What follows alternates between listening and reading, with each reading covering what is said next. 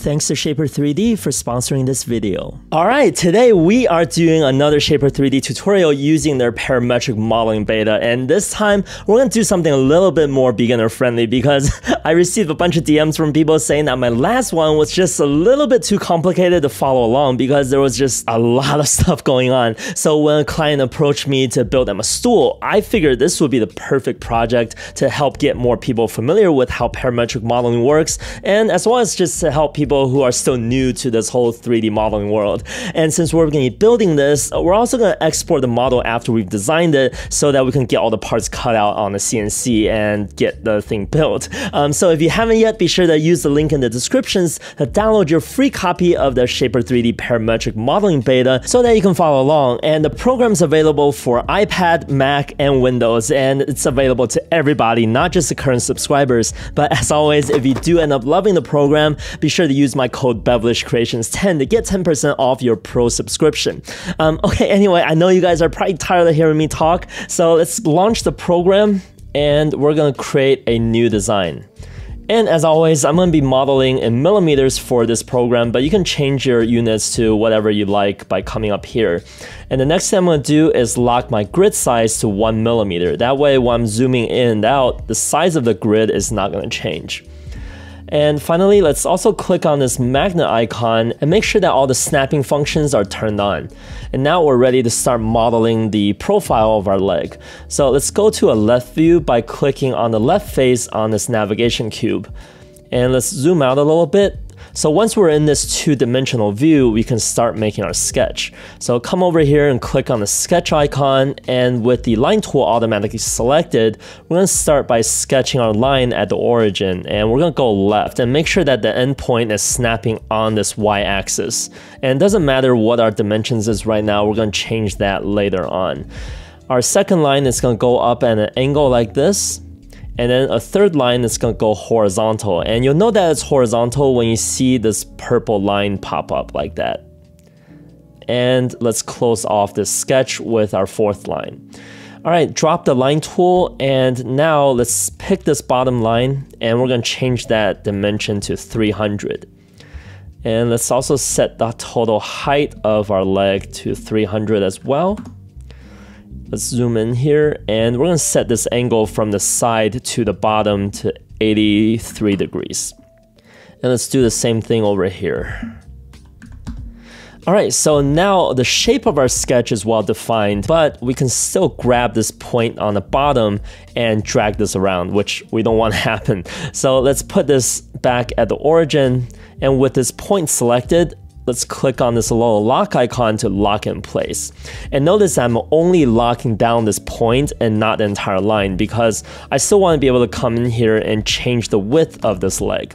So throughout this tutorial, you'll notice I'll be emphasizing a lot on constraints. And the reason for that is because with parametric modeling, our sketches are now directly connected to the 3D bodies. And then those 3D bodies are then connected to other 3D parts. So to avoid having our model break sometime later on in the design process, we need to make sure to properly constrain our sketches so that nothing moves unless we want it to. Um, okay, so let's undo that real quick and bring that back to 300 millimeters. And now I want to add a circular cutout on the bottom. So let's grab the circle tool and we're just gonna draw a circle somewhere underneath the base like that. And to make this circle line up with the center of our part, we're going to use the line tool again. We're going to draw a line from the midpoint of this base down. And let me show you guys something. So just in case that you end up not drawing a vertical line, that's totally okay. You don't have to start over. We can just grab this line and then come over here and select the horizontal vertical constraint. And this is going to lock this line down in a horizontal or vertical orientation. So now no matter how we drag this point around, it's not going to change the angle of this line. All right, now let's pick this line again, and then we're gonna turn it into a construction line, which just means that now it's only used as a reference feature. Let's zoom in here, and we're gonna grab the center of our circle, and we're gonna move it until it snaps onto this line. And once you let go, it creates this new coincident constraint, which means that the circle is now locked onto this line. So if we drag it around, it can only move up and down along this line. Now let's play around with the position and size of the circle until we get something that we like. Um, actually, let's set the height of this cutout. Let's pick the line tool again, and we're just gonna draw a line from this endpoint up until it snaps to the edge of our circle. Let's turn that into a construction line, and let's set the height to 35 millimeters. And the diameter of the circle is kind of big, so let's change that to, I don't know, 280. Now let's check the width of our leg. So this portion is 57 millimeters, so roughly about two and a quarter inches. So that's pretty good. Let's leave it the way it is. Now, most of us probably want to take the trim tool and start trimming away these lines that we don't want. But the problem with using the trim tool is that this also trims away some of the constraints that we had set. So now if we grab any of these points, things are gonna move around, which is definitely not what we want. So let's undo that real quick. And I'm actually happy with the way things are right now. If I change the width of our leg, our circle is going to move along with it. It's going to stay in the middle of our leg. So let's just keep the way things are right now and let's exit out of this 2D view and we're gonna pick this top profile. Let's click on that, and that's automatically gonna bring up the extrusion tool. And we can use this arrow to extrude our first part, and let's set that to 30 millimeters. All right, so we've got our first leg, and now I want to add some features on this face so that it's not just a block of wood with a cutout on the bottom. So let's hide our first sketch plane, and we're gonna click on this face, and we're gonna create another sketch. Now notice this created a new sketch plane up here, even though technically we're sketching on the same parallel plane as our first sketch. So a big difference between this parametric modeling update and what we currently have in Shapr3D is the ability to create separate sketch planes on the same parallel plane. All right, so if you're completely new to Shapr3D, this probably means absolutely nothing to you. But if you've been using the program for a while, then you know that currently all the sketches on the same parallel plane have always been grouped together in the same sketch plane, which had been a pretty big complaint for a lot of users, but that is no longer the case with this parametric modeling update. So even if you want to continue using this as a direct modeling program, you'll still be able to create separate sketch planes on the same parallel plane, which is really great just from an organization point of view. Um, but anyway, guys, I digress. Let's go back to this, and we're going to start by sketching a line from the top midpoint all the way down to the y-axis down here. And you'll know that this line is vertical if you see this right angle constraint up here, or we can just pick the horizontal vertical constraint to lock down its orientation. And also note that even though we drop this lower point on the y-axis, it's still floating around, which we don't want. So to lock this guy down, let's pick the endpoint and then pick the bottom edge of our leg and use the coincident constraint. So basically what we just did here is let's exit the sketch and bring back our first sketch plane. And if we go in and change the width of our leg, let's do 400, you can see that our line is shifting with it. It's staying in the middle of your leg, which is what we want. And let's undo that. And if we change the height of the leg, you can see our line is extending with it. So if we had kept this lower point floating like we did earlier, what could happen is that the line is going to shift upward with the top edge of our part, which is not what we want. We want it to be able to extend. Okay, let's undo that. And now that we know this line is behaving the way we want, let's go back to our sketch and let's select that line and we're going to turn it into a construction line because we're going to use this as a reference to create the rest of our geometry. Okay, let's uh, pick the rectangle tool and make sure that the type is set to center. And we're gonna start drawing a center rectangle from the midpoint of our reference line.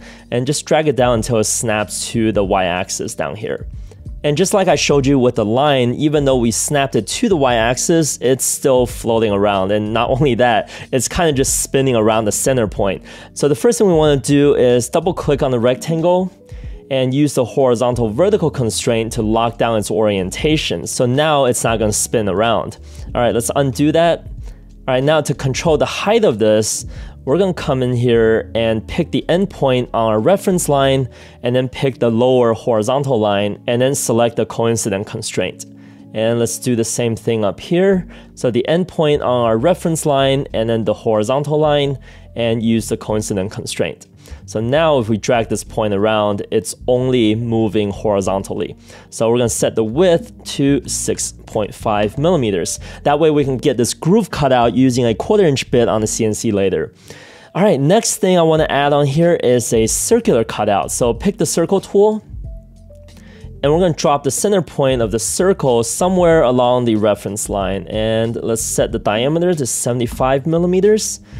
And we'll draw another smaller circle on the inside of that using the same center point, and we'll set that diameter to 65 millimeters.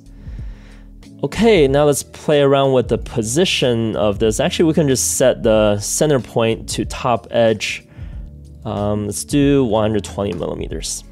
Okay, so this is kind of the basic shape I want to cut out, and we can leave it the way it is like we did earlier, but we've got a few more lines crossing here, so to minimize the amount of confusion, and also to just show you guys what we need to do to reconstrain this if we use the trim tool, let's uh, come in here and start trimming some of these lines away. And we're only trimming the solid lines away, so we're leaving the reference line where it is. All right, so let's drop the trim tool and now if we grab the center point, you can see that things are just shifting all over the place. So the first thing we wanna do is reconstrain the center point to the top edge at 120 millimeters. And let's see what else we need to do. Um, it looks like the width of the top rectangle is changing. So, so to lock that down, let's select these two lines and lock the width back down to 6.5 millimeters. And it looks like the constraint for the lower rectangle is still there. And what else? Okay, we need to lock the two rectangles in the middle. So to do that, let's pick the two outer lines on the lower one, and we're gonna use the symmetry tool this time and then pick our reference line as the line that these two are going to be symmetrical about. And we're going to do the same thing for the top. All right, pick the two outer lines, symmetry tool, and then pick the reference line. All right, and that should lock everything down. Yep. All right, let's exit the sketch and we just want to make sure that everything's behaving the way it should be. So let's bring back our first sketch plane. And if we change the width of this, yep, our sketch is still moving with it. It's staying in the center. And if we change the height, our groove is extending with it, which is exactly what we want. Okay, so when dealing with parametric modeling, it's always a good idea to stop once in a while and make sure that the new features we just added are behaving the way that we want and that nothing unexpected is going to happen sometime later on in the design process. So take a pause here and make sure that your model is updating properly. And once everything looks good, let's zoom in here, um, hide our first sketch, and we're to pick this smaller circle and we're to push through to make a hole. Um, now the problem with cutting a hole that's defined by a dimension like this is that, um, let's go to our history sidebar and if we change the thickness of our part to something thicker than the amount that we just defined for the hole, then you can see the hole is not cutting all the way through. Then we have to come over here and redefine the depth of the cut. Now to avoid doing that, let's undo that real quick. Let's expand the extrusion properties and we're gonna change the bound type for that cutout to object. And then the bound object to the back face of the leg and click done. All right, so now no matter how thick we make the leg, the hole is always gonna cut all the way through because now the cutting depth is defined to always match the back face of this leg.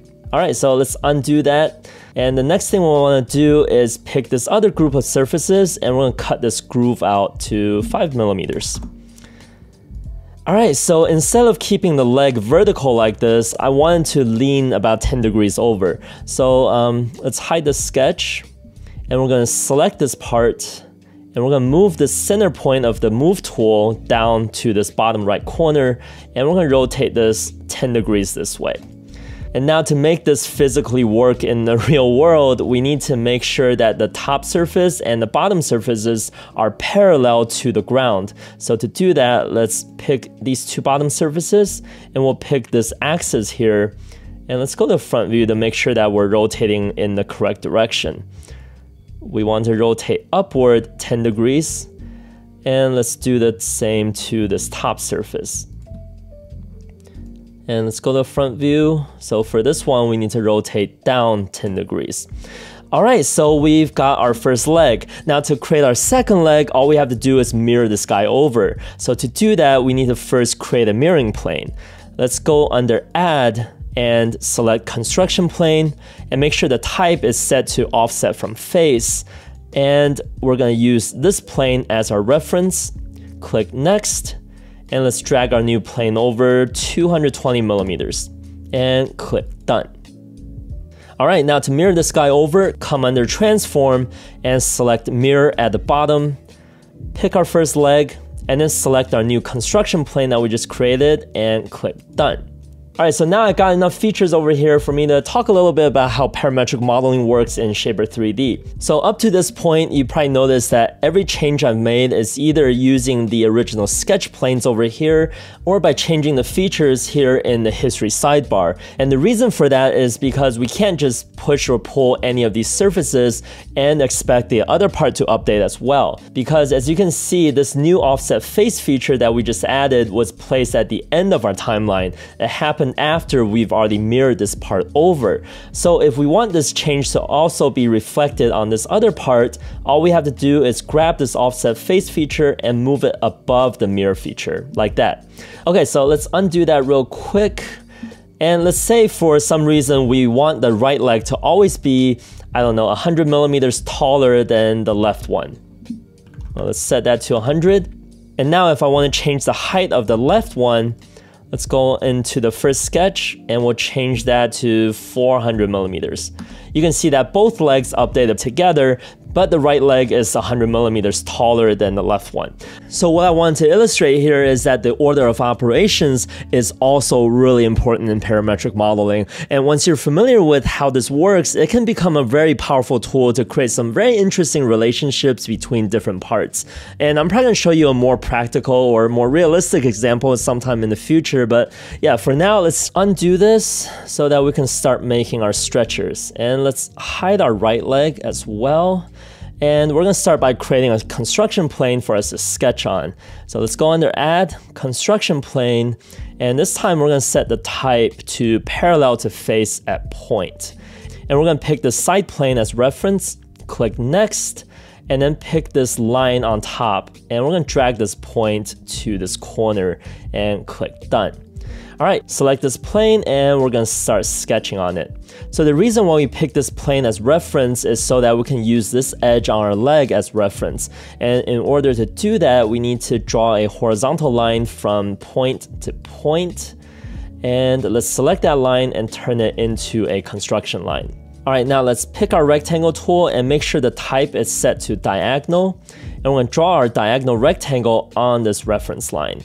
So I wish when we draw a rectangle like this, it can lock both of these points on that reference line, but as you can see, it doesn't. But all we have to do now is uh, drag this point until it snaps to that reference line, and when we let go, it'll add this coincident constraint on here. So it's just one of those extra steps we have to take. Um, okay, so let's set this width to 28 millimeters and we'll set the length here to 120 millimeters, which I know it's pretty long, but we can always come back and change it. And last thing I want to do is set this gap to 35 millimeters, and that should lock down our sketch. All right, let's exit the sketch. Let's exit that view and we're gonna pick our face and we're just gonna extrude this to the right to some random value for now. All right, now let's bring back our right leg and what we're gonna do is come over here to the extrusion properties. And for the bound type, we're gonna set to bound object. And then for the bound object, we're gonna pick the inside face of our right leg and click done. So you see what I just did? So using the bounding parameters, it'll match up our extrusion to the face that we're bounding to. It's pretty cool, right? All right, now to do the same thing on the other side, Let's come in here and we're gonna pick this face on our stretcher and then the inside face of our left leg and we're gonna use the replace face tool and click done. All right, so there's our stretcher and now I want to add a circular cutout to match the cutout on our leg. So let's click on this face, click on sketch, and just like we did on the leg, we're gonna start by drawing a vertical line from the midpoint down and that's going to help us to define the middle of our part. And let's select that line and make it into a construction line. Now pick the circle tool and we're going to draw a circle on that line. Um, oh yeah, we also use the line to define the height of the circle, right? So let's do the same thing. Let's use the line tool and go up from that midpoint to our circle. Let's turn that line into a construction line and then let's set that height to, I don't know, 50 millimeters. Um, and I want this to be a gentler cutout, so let's increase that diameter to, let's do 5,000 and see how that looks. Actually, that looks pretty good. All right, let's spin out of that, and we're gonna cut that out. And just like we did before, let's go to the extrusion properties, change the bound type to object, and then for the bound object, we're gonna select the other side of our stretcher and click done. We did that just in case later on we need to change the thickness of our stretcher. Um, so one thing I hope to see when the final version rolls out is if we do an extrusion like this, that we also get a drop-down menu of some sort for us to choose the extrusion properties instead of having to come over here to the history sidebar. I think that would really help to smooth out the workflow. Um, but anyway, so we've got our stretcher here. It looks pretty good. Now we just need to create a second one and we're going to use the mirror function for that. But first we need to create a mirroring plane. So come over here to add add and create a construction plane. And this time we're going to set the type to mid plane. And we're going to use the side faces of our groove to define that. All right, click done. And now come under transform, mirror, pick our first stretcher, and then select the plane that we just created and click done. There we go. All right, before we go on to making the top, let's just do a sanity check real quick. Let's hide this sketch plane and bring back our first sketch plane. So if we change the height of our leg, the stretchers will move up with it, and if we change the width, the stretchers will stay centered. So that looks pretty good. And I think even if we change the angle of our legs, our stretchers will update along with it. So everything looks good. All right, so we're ready to move on to the top, or rather, I guess the seat of the stool, which should be the easiest part of this whole design process. But there's actually a bug within the beta that prevents the top from updating properly. And um, once we get there, I'll show you and we'll talk a little bit more about what's going on with it. Um, so let's put the legs back to their correct dimensions. So 300 by 300. And then we're going to start by sketching on the top face of our stretcher. And as always, we're going to start by creating some reference geometry. So the first thing we're going to do is draw a line from the midpoint of our groove to the midpoint on the opposite groove. And then we're to draw another line from this edge on the stretcher to the opposite stretcher. All right, now let's pick both of these lines and we're going to turn them into construction lines and then we're going to draw a center rectangle starting from the intersection of these two lines. And let's just drag that out and we're going to set some dimensions here. So from that top edge to the edge on our stretcher, let's make that 85 or no, let's do 80. And then from here to the end of our stretcher, let's do 100. All right, let's exit the sketch and now we're ready to extrude this guy and this is where the bug is. So usually when working with the current version of Shapr3D, if I need to extrude a sketch that's laying on top of surfaces of 3D parts like this, I would first isolate the sketch in order to extrude it and then bring all the other parts back and that's it. But in this beta version, if I isolate the sketch, you'll see that at least behind this weird silhouette of the surfaces that were touching the sketch plane, which actually prevents me from extruding this entire thing. So the only way for me to do this now is bring all the bodies back and we have to individually select all these surfaces and then make our extrusion. So let's set that to 30 millimeters. And in order to extrude it this way, we also have to click on this little icon here and select new body, or else this extrusion is going to combine all the other 3D parts into one. All right, now let's, uh, with this top extruded, let's go ahead and pick the bottom edges all around and we'll make a bevel. So yeah, I just want you guys to be aware of this and let you guys know that this is not normally how the program will behave. Um, and it shall be fixed once the final version rolls out. Alright, so we've got our top, and another problem that this bug causes or at least I think it's caused by this bug, is the way that this top is going to update. So as you can see, if we update the height and the width of our legs, everything updates properly. But the problem is if we change the angle of the leg. So let's go to this transform, and if we change it, you'll see that the size of the top changes correctly, but it's adding these two extra bodies on top. And I think the reason why this is happening is because when we extruded this top, we also had to select the other surfaces on these 3D parts. So like I said, once this bug is fixed, everything should update correctly. Um, okay, let's undo this real quick. So beside this one bug, everything else looks really good.